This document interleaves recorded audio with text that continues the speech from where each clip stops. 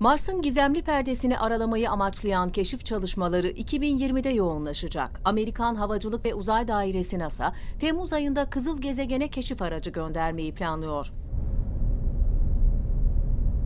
Aylar sürecek yolculuğun ardından 2021'de Mars'taki Jezero kraterine ulaşması hedeflenen keşif aracı, Kızıl Gezegen'deki jeolojik yapı ve iklimi inceleme altına alacak, örnek toplayacak.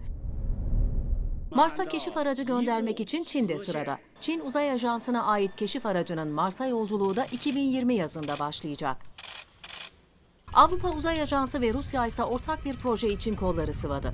Proje kapsamında 6 tekerlekli prototip araç geçen yıl İspanya'daki kayalık Tabernas Çölü'nde denendi. Bu ortak projeyle NASA'nınkinden farklı olarak Mars'ın yüzeyinden derine inerek inceleme yapılacak. Altı tekerlekli keşif aracı, Kızıl Gezegen'in yüzeyinden 2 metre derinliğe inecek ekipmana sahip. Keşif aracının 9 ay sürecek yolculuğunun ardından Mart 2021'de Mars'a ulaşması hedefleniyor. Birleşik Arap Emirlikleri de Mars'a gelecek yıl uzay aracı göndermeyi amaçlıyor. Hazırlık çalışmaları uzun zamandır devam ediyor. Fırlatma işleminin Japonya'da gerçekleştirileceği açıklandı.